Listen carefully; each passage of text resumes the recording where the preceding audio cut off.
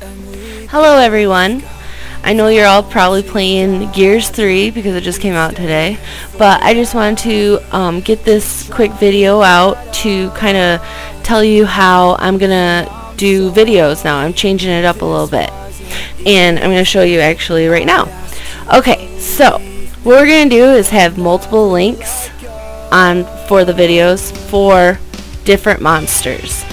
And what you'll do is whichever monster you want me to kill for a week, um, you're going to click the link to that video for that monster and then thumbs up it. And after three days from today, from right now when I release this, um, I will, or whichever monster has the most thumbs up, I will do for a week and then I'll show you the drop. So we're going to try to do that from now on, like to make it a little bit more interactive for you guys because that's kind of fun. But okay, so I'm to go play Gears 3 now. I hope y'all have fun. So bye!